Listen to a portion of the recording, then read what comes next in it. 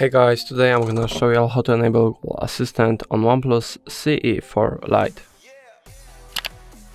Firstly, go to settings, tap on the search bar and search up Assistant.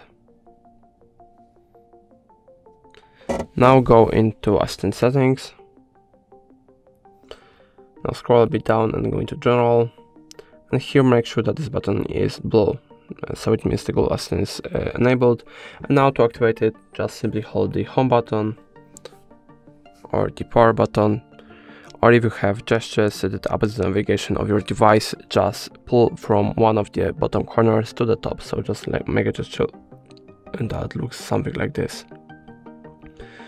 And that is going to be all. Uh, if I helped you, please like and subscribe. And if you have any more questions, let us know in the comments.